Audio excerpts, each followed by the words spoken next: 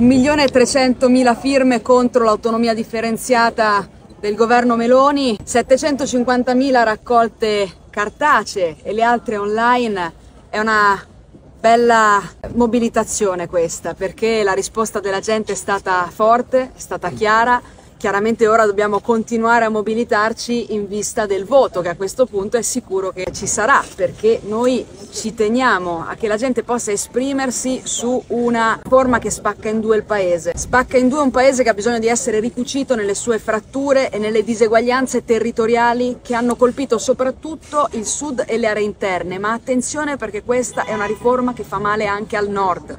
Non si può pensare a 20 diverse politiche energetiche quando ne servirebbe una per riuscire ad abbassare le bollette delle imprese e delle famiglie. Le nostre imprese perdono competitività perché l'Italia ha i costi energetici maggiori d'Europa, non è il momento della frammentazione, è il momento invece di insistere per una politica energetica comune. Cito uno dei tanti esempi per cui si vede quanto questa riforma faccia male e possa essere un colpo di grazia su una sanità pubblica che sta già soffrendo moltissimo. Quindi è un bel segnale che l'obiettivo non solo sia stato raggiunto, ma più che doppiato addirittura anche raccogliendole nei mesi estivi. Quindi è un segnale di mobilitazione importante e noi come Partito Democratico siamo felici di essere parte di questo comitato promotore con tante altre forze politiche e sociali.